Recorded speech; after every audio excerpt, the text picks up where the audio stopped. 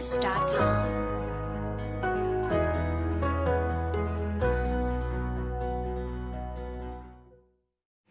Chào mừng các bạn đã quay trở lại với kênh youtube của mình Hôm nay chúng ta sẽ sửa cái lỗi của DNC V16 Bằng cách thay thế DNC V16 của cái phiên bản Crack này sang phần à, công cụ khác hỗ trợ các bạn truyền trình qua máy đột dập.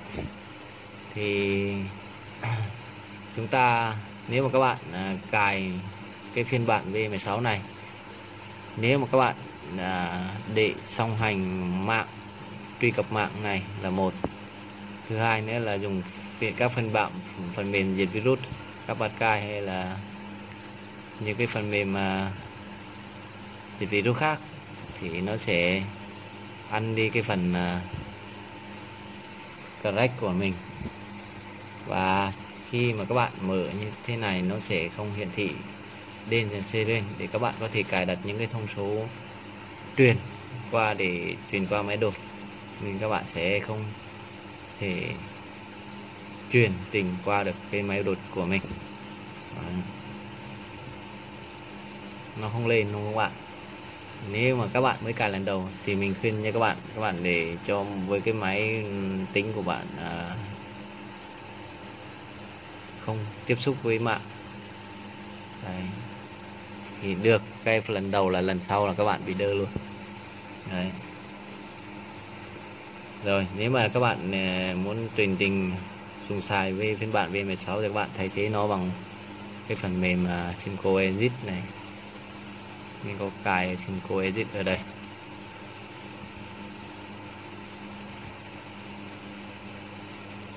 Đây chúng ta sẽ lên một cái tình nào đấy.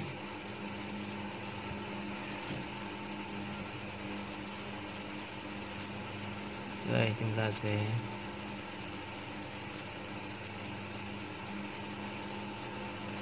lưu nó desktop cốc rồi, ok, mình thử chỉ cho nó auto cắt đi nha các bạn. Auto pan. Đấy, nó sẽ tự động này rồi, các bạn sẽ edit nc chẳng hạn.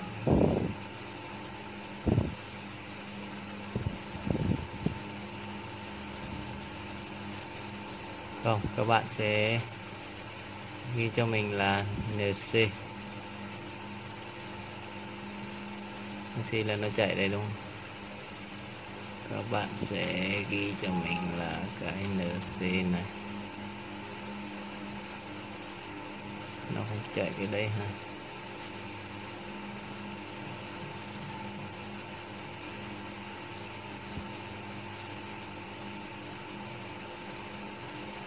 đây, chúng ta sẽ kích vào cái phần này.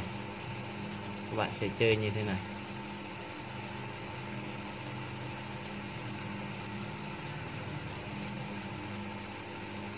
CVS lên này.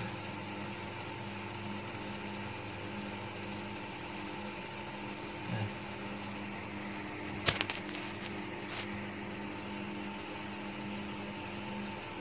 các bạn để chút xíu cái này chúng ta có thể thế này không ta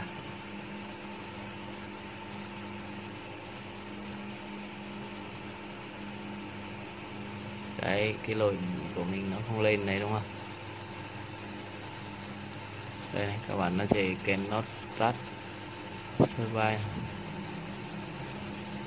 Đây. Này nó đưa các bạn. Các bạn nhấn vào exit nc này. Sau đó các bạn sẽ lưu cái file này.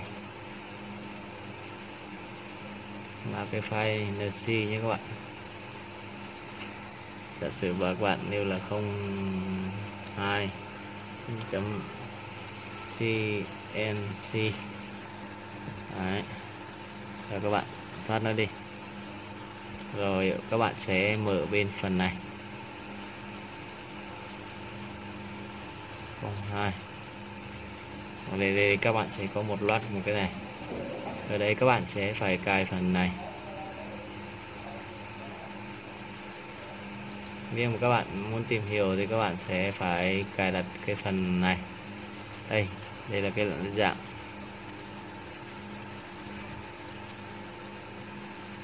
Cái dạng này các bạn dạng máy các bạn nhưng mà mình chưa tìm ra được cái máy của máy đột của mình. Nên cũng chưa thấy các bạn nào có thể ấy thì cũng là góp ý cho mình nhé ở đây mình tìm chưa mãi chưa thấy cái máy đột. Toàn là máy phay với những cái máy gì gì á à, nó là mắc bà không biết. Mình chỉ truyền cái này cho cái máy thôi. Đây chúng ta can tâm đến cái phần DNC này và cái máy này. Cái máy này thì các bạn có thể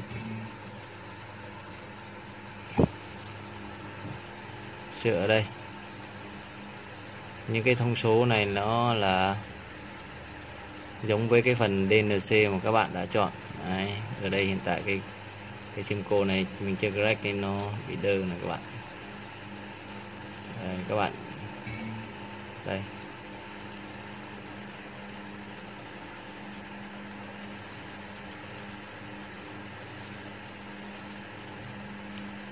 Các bạn có thể đây là mình mới add cái BGA B57 này. Nếu các bạn muốn ấy thì các bạn xóa lên đi. Nếu mà các bạn à, ấy thì các bạn add lên. Tên PGA 357 kiểu máy là một Đấy. mình chưa có đây nó thông báo như vậy các bạn. Đấy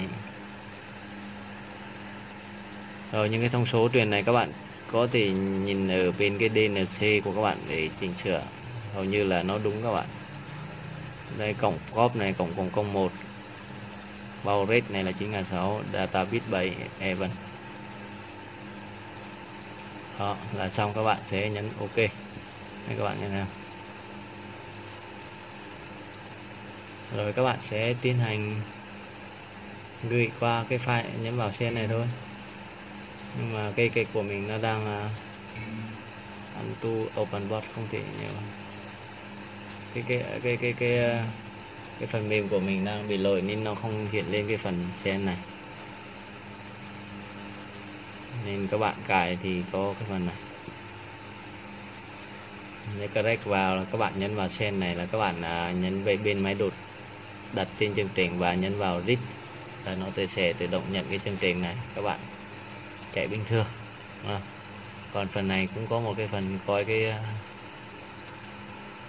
backfloat này, này đầu, nhưng mà nó hiển thị kém lắm các bạn Đấy. Đây. các bạn nhìn thấy không không phải là con dao mà các bạn đang ờ, dùng đâu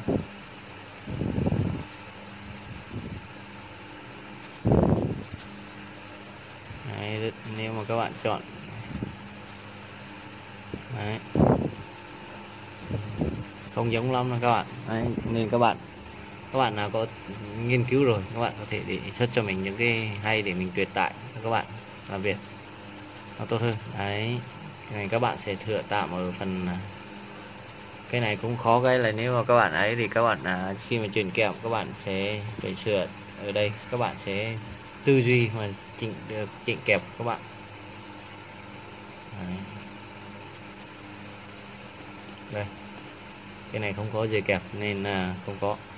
Nếu mà có gửi kẹp thì nó chỉ là gửi 25 thì các bạn chỉnh thành gửi 27 đấy. Đến đây mình đã giới thiệu cho các bạn cái à, phương pháp tạm bỡ, gọi là tạm bỡ để các bạn sử dụng DNC V16 mà khi mà các bạn đã cài bị lỗi nếu thấy hay mình các bạn. Nhớ like và subscribe, chia sẻ video cho mình. Và những ý kiến đóng góp, xin ghi thì các bạn cứ bot ở phần dưới, mình sẽ tiếp thu và truyền tải lại những cái hay mà các bạn đã đưa ra. Chúc các bạn thành công. Hẹn gặp lại các bạn ở những video tiếp theo. Xin chào và hẹn gặp lại.